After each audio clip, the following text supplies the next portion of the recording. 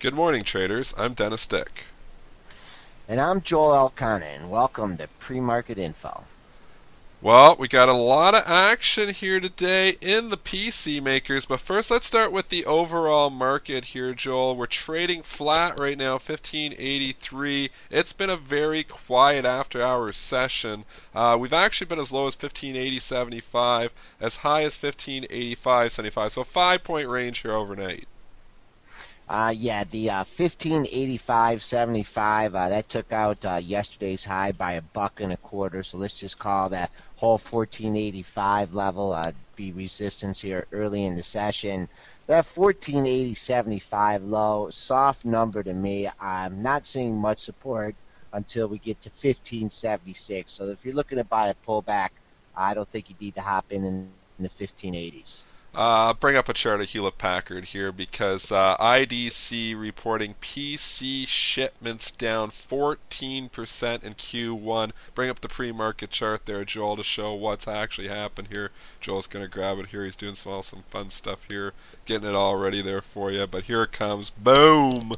Stock down a dollar thirty. I'm going to give some props to the Benzinga news desk here. They broke that very quickly yesterday, actually, and it was slow to respond to the stock. I actually did short this thing, believe it or not, in the after hours on the Benzinga news. So thank you, Benzinga. Of course, I cover too soon. I took 30 cents off of it. Should have held because now the thing's down a dollar, a dollar twenty here, 21.11. This is just a crazy beating here for Hewlett Packard. Well, keep in mind this stock has had a huge run. Uh, let's just first take a look at the pre-market activity here. Uh, we just recently made a low right around the $21 level, made a low at 21.10, trying to get a bounce off that. Uh, let's look at the dailies here. Uh, 21 looks like a nice level here. Uh, we had a low back at uh, on March 12th at 2094. Uh, the next day 2108. So opening into some mild support here in Hewlett Packard. If we take that out, uh, 21, uh, mild support here at the 2050 level. But you know these stocks can take uh, three or four weeks to go up, and then uh, how many days does it take to go down? Two or Dennis? three sometimes, Joel. Up like an escalator, down like an elevator, and that's what is happening with Hewlett Packard here this morning. I'm scared. I don't want to be long this stock. I've never wanted to be long this stock, just because PC, just like IDC, this is not just a, a fluky quarter. People just aren't buying PCs as much as they used to. Everybody's got their mobile devices. We've talked about this on the show for the past year. That box makers, despite despite the huge rally in Hewlett Packard, if you go farther out on the chart, the stock used to be a $50 stock. So you can say, oh wow, it went from 12 to 23 or 24 bucks. This thing was up at $55 two years ago. So uh, yeah, it's had a great run, but when you take that chart into perspective, there's an overall trend here that is not your friend, and that trend is that people are not buying as many PCs as they used to. Microsoft too taking it here, Joel. You might as well bring up the chart. It's a double whammy for them. They were getting beat up on the lighter PC sales, uh, but also Goldman Sachs downgrading them to sell today. Wow, yeah, downgraded them with a targeted 27. Uh, trade got up yesterday. Uh, you had mentioned to me the way we just flew through the 29 handle Oh. after spending days, weeks, and months. Uh, 26, 27, struggled in the 28s. Uh, so here's here's a big move for the stock. I'm not sure if the boys at Goldman are caught short over there trying to bring it in or whatnot. Uh, huge move for Hewlett, uh, or for Microsoft in the pre-market. Uh, we did get down to 29.13, or excuse me, 29.03. We're getting a little bounce on that. Boy, oh boy, Dennis, this is this is a tough call. Stock being down a whole stick. That that's just a huge move for Microsoft. It's an absolute huge move. But like you said, if you go out to the last few days, we only spent two days in the 29 handle. We say we always tell you this in the pre-market show. When you go through a handle very quickly one way, you can go through the same handle very quickly the other way because there's not a lot of reference points, not a lot of traders with positions because it only traded for a day or two in there from the, that pricing point. So I would not be surprised if this cut all the way through the 29 handle today. Although this is an over, this is basically a huge move to the downside. I don't know if I'd want to short it down here, but um, just looking at it, I still don't know if I'd be a buyer until you started nibbling into the 28s again. Uh, we got to give some props to BGC Partners too, because they came out yesterday during the day, downgraded this thing. The stock was trading at the highs of 30.30. They downgraded it, citing that PC sales were likely to be down. And then after hours, IDC releases that report. The PC sales shipments are down 14%. So BGC Partners with the fa- fabulous call there, giving you a shot to sell the top if you listen to them, and uh, you'd already be up a buck ten on your trade if you did listen to them.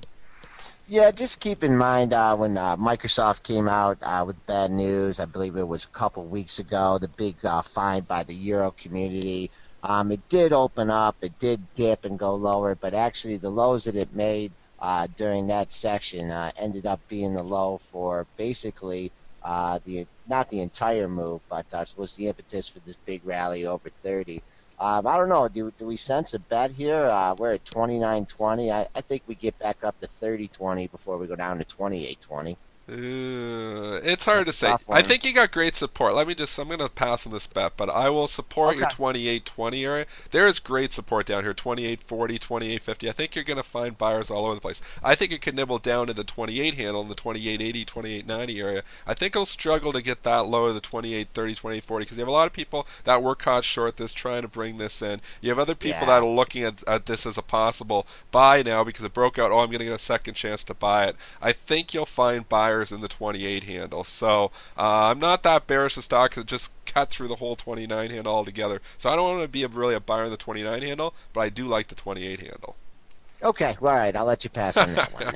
Intel, too, getting beat up on that same IDC report. You can see after hours, as soon as the report broke around, I think it was around 5 o'clock, if I'm not mistaken, uh, the stock actually just started selling off. Slow and steady decline, kept declining, is now trading 2180 down 46 cents here, or 2% from its 4 o'clock close of 2226. Yeah, 26, uh, 2162 is low that we've hit in the pre-market, getting a little uh, bounce up to the 2180 level, uh, affected uh, by the IDC report as well. Major three-day run here from uh, un- under 21. May had a rally from 2070, 2076 up all the way to uh, 2242. Now we're pulling back. This is a little bit more of a slippery slope here because I don't, you know, this whole area here, cut through it pretty easily. Uh, I guess you'd have to give uh, the major support at uh, 2106. But what's interesting about the uh, Intel here is that uh, you had Tuesday's close 2175, Wednesday's low at 2171. Did cut through it a little bit in the pre-market, but holding it right now. So 2170 key level in Intel. Yum which obviously uh, Yum Brands. The comp store sales in March were down 13% in their China unit. That was announced last night. Stock, you can see the huge decline on that news when that broke. Um, here, uh, looking at this chart here, 65 bucks. He had a low if I go back to three or four days ago in the 65.28 area, but we are trading below that right now. So Joel's going to probably point out all those lows that we had in the mid 64s there, uh, around 64.30, 64.40. Yeah, you also did have a low at 64.95 on March 4th. Nice round number uh, 65 area, just hanging out around there. Uh, once again, the open's going to be key in an issue like this. You did cut down uh, well under 65 here to 64. Uh, looks like 64.40. Uh, I don't know. I think this one's a little bit overdone. Uh, if it does hold 65, look for support at that 64.40 level. McDonald's had a little bit of a sympathy sell off last night. If you go to the after hours chart on McDonald's, you'll see when the Yum story broke, McDonald's sold off about 30 to 40 cents. Just bring up the after hours. Yeah, there we go. You can see about 30, 40 cents it sold off. I want you guys to keep in mind a lot, of, you know, people do pair these up a little bit. Uh, McDonald's is strong. Last time, and I remember this last time, Yum had a steep sell off. I think it was two months ago after China sales. McDonald's actually opened not far that far down and actually rallied on it. So I'm just trying to remember Not saying it's going to do that again, but once once a stock does something once, sometimes it can do it again. So just keep in mind, just because Yum's down two, three bucks here today, doesn't mean McDonald's is going to fall down two or three bucks either. I wouldn't be surprised McDonald's kind of shrugs us off. 101.06 is uh, the immediate spike down in the pre-market uh, after hours, and then we came down to 101.10. But uh, I like to chart on the daily here. This 101 area that was yesterday's low. Uh, it coincides with some of the pre-market activity. So if you can hold this uh, 101 area, I'd look for a bounce up. Uh, if you get back up 101.50, uh, actually you've had four of the last five highs between 104.47 and 101.74. So obviously some institutions uh, earmarking that 10, 101.50 to 75 level as major resistance. Uh, if in fact we can't uh, hold 101, uh, minor support at 10067, and then uh, boy oh boy, you could uh, you could easily fall down to 99. But uh, this is news that's specific to Yum, not Mickey D's. Triple BY. We'll see if Joel get it right. He always likes to put the double BY, but he's getting it right here today, folks. Triple BY buck 68 versus a buck 68, so the earnings are in line. Q1 guidance a little light, 88 to 94 cents. Estimates were up at 95. You can see there's a big spike down there actually originally when the stock, but then they look in and Q1 comps. They're saying they're going to be up two to four percent. Saying full year comps going to be up five to seven percent. So looking like uh, the guidance a little weak for Q1, but overall it's not that weak, and the stock's actually rallying on it now. We're up a dollar 31 here at 66.81 from the 65.50 close. You know why they do so well? Why is that? Because like once you go into one of their stores, like you can't get out. You have to like walk. You have You to walk all the way there. around. Yeah, well, you just circle. walk in and you have to walk through the whole store, and you eventually have to buy something. I mean, Those are designed that way. I actually took a I mar- know. I remember taking a marketing course back in university and we were talking about that basically how to make the person travel the maximum distance through your store. Uh, best but Bed Bath Beyond's done it right. You're right. You go in there and then it's like a big circle thing and really you got to do the whole circle to get out of there. So props to them. They're doing something right here because the stock's obviously been one of the better performers here and uh, it's doing okay here after hours as well. Yeah, 67.55 uh, is a level that we've hit, taking a little breather here, um, holding out at the 66.80 level. Obviously, we take out that 66.80. There's not a lot of support under that. Uh, taking a look at the dailies, uh, busted through the previous high of the move, 60. Uh, would say that was 65.62. So if you're shorting this thing, you're a gap player off the open. It comes back down to the 65.62 level that would fulfill the gap. Uh, weekly, uh, really not a lot in here um, in this area. Had a real bad uh, week back in um, September of 2012. So uh, whole numbers might be a good idea on this one too if you're looking to exit the stock. Pier 1 Imports also report, the symbol PIR. Stock uh, in, came in line 60 cents versus 60 cents. Obviously not good enough here because they're beating it up here in the pre-market. Stock trading down at 22.50 after closing at 23.34. Uh, when you go to the dailies, there was all kinds of resistance in the 23 handle, though. You'll see all these tops here. Like, look what it was going into. Basically, straight up three days right and all that resistance, giving you a nice reference point if you did try a short and you got it. Good for you because you're getting rewarded here this morning. Right. Wow. This stock, people must be buying a lot of wicker chairs or something. Or, geez, this has been a huge move. But uh, we'd like to talk about this stock. Isn't this the one that uh, during the financial crisis Got down like 37 cents or Yeah.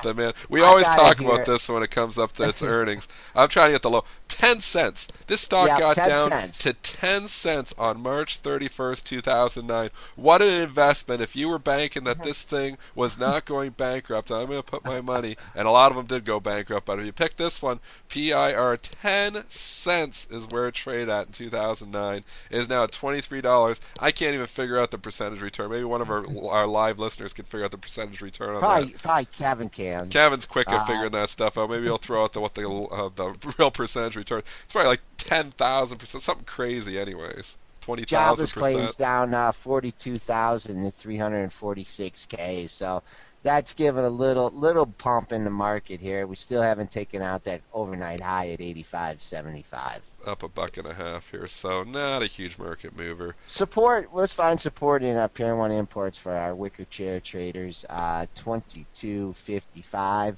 Uh, that was the low on Tuesday. 22.78 was the low yesterday. Critical for this stock to hold this 22.55 area.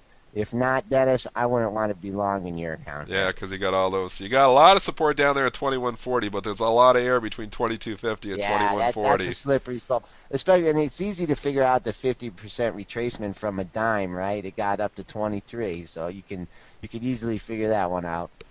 Uh, let's talk about some of the upgrades and downgrades because there's some uh, big ones here today. Adobe, Goldman Sachs active today. Adobe getting upgraded at Goldman Sachs here this morning. Uh, not a lot of trades here though for Adobe yet. Actually zero, but it is bid up at 44.92. Nobody's sniffing him, so it looks like it's going to open higher than that. It closed at 44.70, so it looks like Adobe's going to open higher. The high yesterday and the high of the move overall 45.40. Obviously, I'd keep that level in mind. If it takes that out, it opens up. Yeah, they must be getting paid by uh, the updates or something like that. Uh, 45.40 is the high from yesterday. Uh, taking a look uh, longer term, can't even find any resistance uh, in the weekly. See if we could find some in the monthly. I don't know. I'm gonna have to. Is this an all-time high for that stock? Uh, I can try to go out and look uh, myself too. No, back. you can find it back in 0708. Go back to 0708. Yeah, we got up to the 48 yeah. area. Yep, high at uh, 45.28 back in uh, March of, or excuse me, September of 2008. Uh, so that could be a, a, target for some of you traders out there. Then the high in August of 2008 was 46.44. So a couple levels to keep an eye on. FDO getting downgraded at Goldman Sachs. I told you they were active. What a day for FDO yesterday. Bring up the chart from yesterday. You can see the crazy trading action. Obviously, reported those earnings. Um, and the stock was trading down in the pre-market pretty significantly. You can see trading all the way down about 56, 57 bucks in the pre-market. Rallied all the way back. Ended up closing strong, closing near the highs of the day at 60. Uh, what was close? 60.44. Now Goldman Sachs says, well, we've rallied up here, but we still don't like it, and we're downgrading it today. Stock not trading any volume here either on this downgrade, but it is offered at 59.94. So it's offered down 50 cents, and nobody's sniffing him either. So it looks like it's going to open below 60.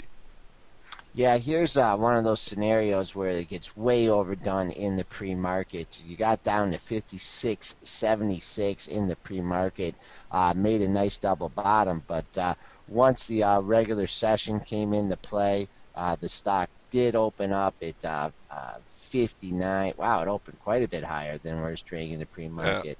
Uh, it just kept rallying. I was watching actually because we had talked about it on the show, and then it's slow that slow steady climb, opened down just a bit, but just rallied up. So um, yeah, so it just continued higher. So the pre-market early on didn't uh, hold there, and they just turned around and started liking it. So it's funny. Just these gotta figure reports. there's air coming back down now. Um, you know if this uh, if this downgrade head holds any water. Yeah, for sure.